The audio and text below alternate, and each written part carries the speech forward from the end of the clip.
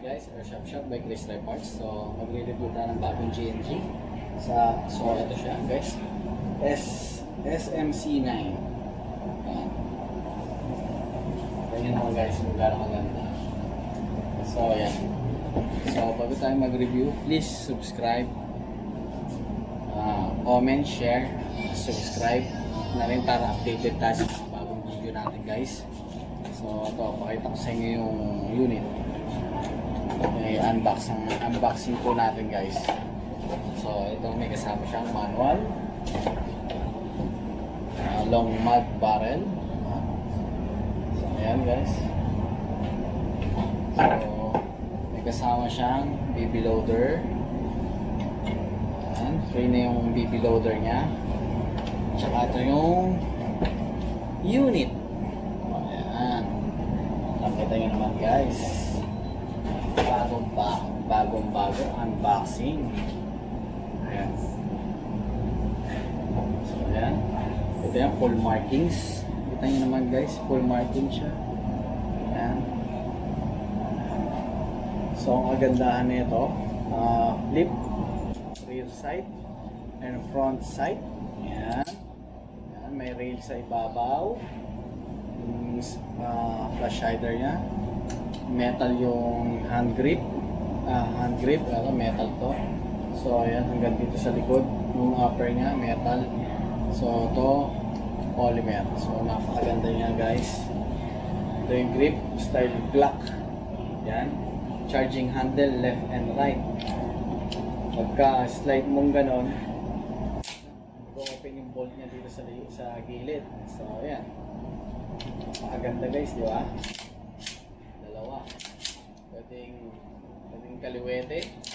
Ayan. Yung ampi uh, slide stop niya, left and right din. Ito. So, ginawa to para sa mga uh, kaliwete, tsaka sa sa left.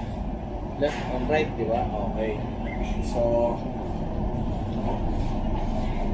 ito pipindutin lang natin para folding siya guys so magnetize yung folding niya makikita nyo naman magnetize yan ah, see? Balik natin. Okay na ulit. Pindutin nyo lang po to guys. Ito lang para mag bend so ayan guys. So testing natin kung gaano kalakas ang FPS so dapat ang FPS nito nasa 300 pataas. 350 mga ganyan. So try natin so yun guys testing na natin. So kailangan natin ng BB loader nya yung bagong BB loader. Lagyan natin.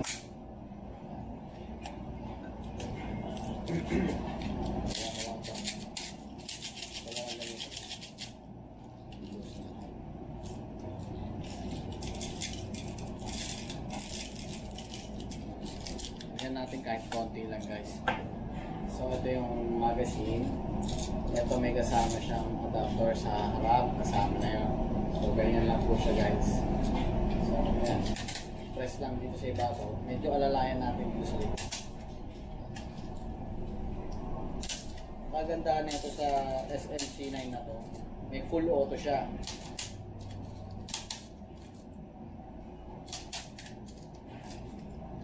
So, ayan guys. So, pag may yung full auto niya, pe-press lang yun lang, pe-press nyo lang po dito. Ayan guys. Press nyo lang yan. Tsaka dito yung single auto. Semi-auto, full auto yung kabila naman. Press lang to. Ayan. So, try natin. Single muna tayo para testing natin yung FPS kung ilan.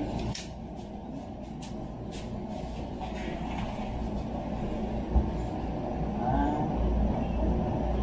Yun. Charging handle. Ayan. Try natin. PS para testing. Ayan. 336.1. 318. So, ayan guys, nakitang kita nyo naman.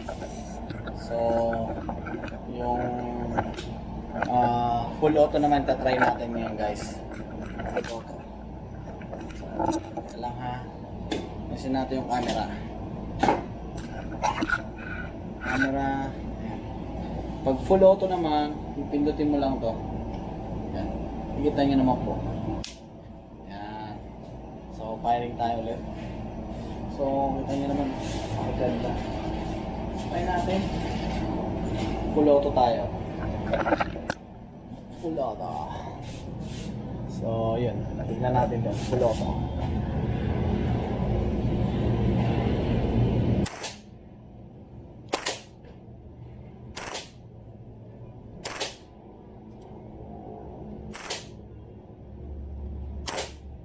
So, yun. Oh, okay na. Guys, nag ano siya, nag-bolt, nag-open bolts na siya.